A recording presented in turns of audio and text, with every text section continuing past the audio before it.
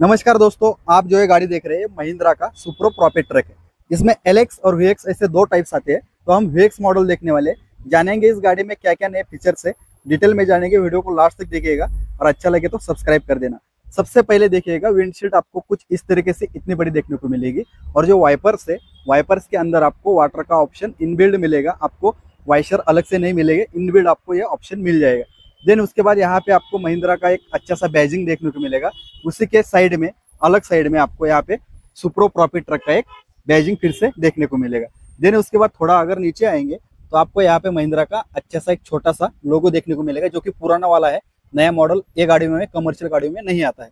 Then उसके बाद आपको यहाँ पे हेलोजन हेडलैम्प्स देखने को मिलेंगे, जो काफ़ी अच्छा दिखता है, इसका लुक भी काफ़ी अच्छा है। उसके बाद थोड़ा अगर हम नीचे आएँगे यहाँ पे आपको ग्रिल देखने को मिलेगा। देन उसके बाद इस साइड में, दोनों साइड में आपको यहाँ पे रिफ्लेक्टर देके रखा है। फोकलैम्प का ऑप्शन नहीं देके रखा है। यहाँ पे फोकलैम्प की जगह यहाँ पे रिफ्लेक्टर देके रखा है।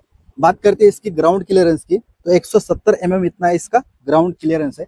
चलो अभी बात करते हैं को ड्राइवर साइड के क्या क्या आपको देखने को मिलेगा। यहाँ पे देखिए आपको एक छोटा सा मिरर देखने को मिलेगा, जो कि विजिबिलिटी आपका बैक साइड का पूरा क्लियर करता है। गाड़ी के हिसाब से इसका मिरर ठीक है, बढ़िया है अच्छा है। देन उसके बाद अगर को ड्राइवर साइड में आप देखोगे तो यहाँ पे आपको मिनी का एक बैजिंग फिर से देखने को मिलेगा। इसमें मैक्सी और मिनी ऐसे दो टाइप्स आते हैं, इसलिए यहाँ पे मिनी है तो मिनी का ऑप्शन आपको यहाँ के देखने को मिल जाएगा। देन उसके बाद इसको मैं थोड़ा ओपन कर लेता हूँ को ड्राइवर साइड में आपको क्या क्या देखने को मिलेगा।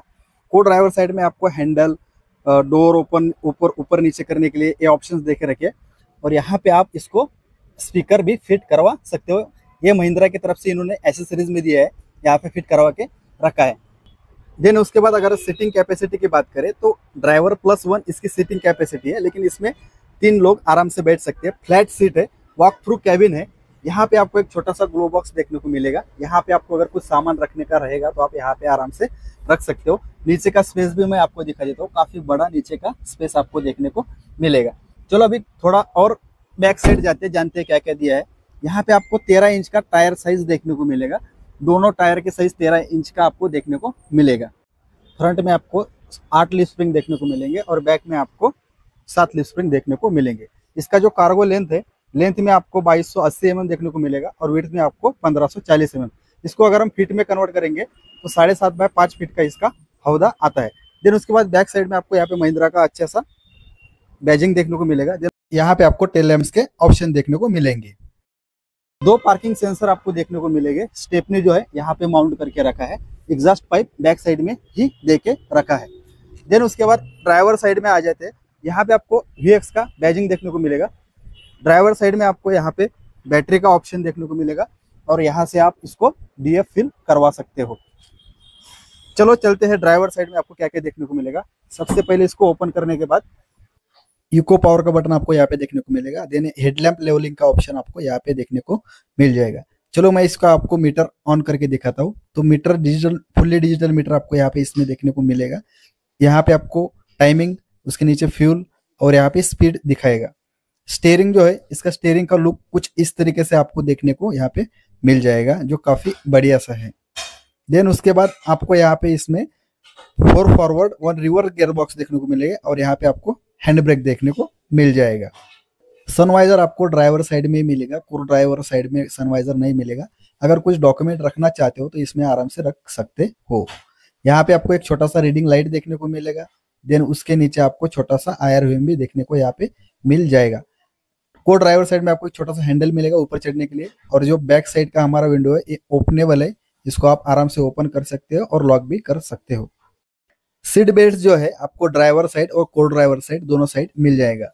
अंदर का जो कैबिन है, काफ़ी अच्छा देखे रखा है, कार के जैसा फील देने की इन्होंने पूरी कोशिश की है।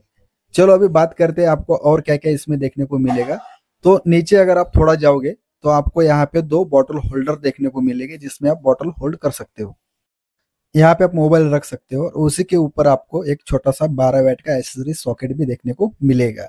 उसी के साइड में आपको बटन लगाने का एडिशनल बटन लगाने का ऑप्शन भी देके रखा है।